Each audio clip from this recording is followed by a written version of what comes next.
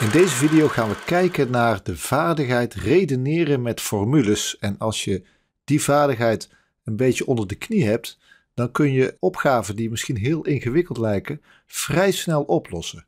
En ik wil dat laten zien aan de hand van een voorbeeld waarin we de derde wet van Kepler gaan gebruiken. En de vraag luidt: we krijgen gegeven dat de omlooptijd van Jupiter 12 keer zo groot is als die van de aarde. En ga nu eens na hoeveel maal verder Jupiter van de zon afstaat dan de aarde. En er staat ook bij het woordje beredeneer. En dat geeft eigenlijk al aan dat er niet van je verwacht wordt dat je het helemaal gaat uitrekenen. Kan wel, eh, en dan kun je ook tot het antwoord komen, alleen dan ben je veel langer bezig. Dus we gaan eens kijken of we dit kunnen oplossen door te gaan redeneren met de formule van de derde wet van Kepler. De derde wet van Kepler geeft aan de relatie tussen de omlooptijd en de afstand tot de zon van de planeten die om de zon draaien. Dus die derde wet van Kepler die geldt voor alle planeten. Dus ook voor de aarde. En voor de aarde ziet dat er als volgt uit.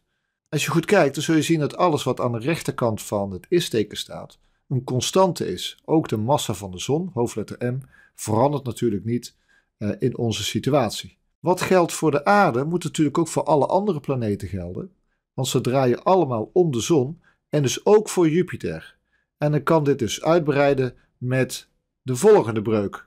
Nu kunnen we een slimme truc toepassen, want als allebei die verhoudingen gelijk moeten zijn aan dezelfde constante, ja, dan kan ik die constante weghalen en dan kan ik als ware zeggen dat die verhoudingen aan elkaar gelijk moeten zijn. Dit gaan we nu eens kijken of we dat slim kunnen oplossen, invullen en oplossen, zodat we tot ons antwoord kunnen komen. Omdat hier alles in verhouding is, mag ik hier zelf kiezen in welke eenheid ik R en T ga invullen. En ik ga kiezen voor de eenheid jaar. En waarom is dat? Nou, dan maak ik het mezelf simpel. Want de aarde doet er precies één jaar over om, de, om om de zon te draaien. Dus die TA, die zal dan 1 worden. En gegeven is in de vraag dat uh, Jupiter er 12 keer zo lang over doet. Dus TJ is 12. En dan krijg ik deze vergelijking.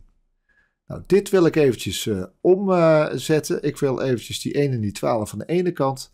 En die verhouding tussen RJ en RA aan de andere kant. En als je dat netjes doet, dan krijg je de volgende relatie. 12 kwadraat gedeeld door 1 moet gelijk zijn aan RJ tot de macht 3 gedeeld door RA tot de macht 3. 12 kwadraat is natuurlijk 144 en ik kan dit weer een stapje vereenvoudigen. Ik kan ook die tot de macht 3 buiten haakjes halen en dan krijg ik dus volgende.